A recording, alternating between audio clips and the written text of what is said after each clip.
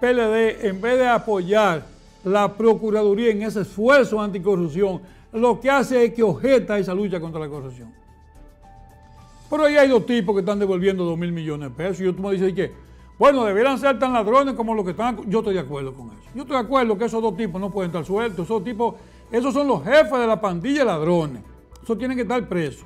En eso estamos de acuerdo. Ahora, ¿cómo que tú tienes un partido y que frente a una, a una pudrición nacional como es la corrupción, tú no te quieres expresar sobre eso?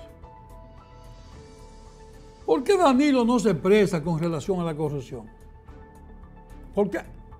Entonces, no somos estúpidos los que estamos de otro lado. Entonces, lo que plantea Baré, que si usted quiere que ese partido vuelva a reencauzarse adecuadamente, lo primero que tiene que hacerle es alejarse de todos esos hechos de corrupción que se están mencionando. Si usted quiere que ese partido un día llegue a ser algo. Porque la otra opción es que ese partido se desbarate y se vaya reduciendo cada día. No, no. Tenemos que tapar la corrupción, vivir con ellos, calladito, que ser cómplice, no mencionar. ¿Por qué no quieren mencionar eso?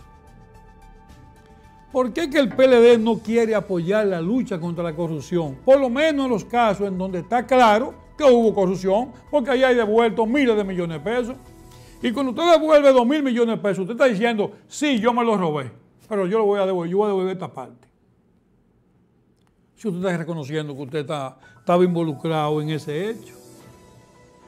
Coño, sigan analizando qué más falta. Porque es que no puede ese partido enfrentar la corrupción y apoyar los esfuerzos para desentar el país. ¿Por qué?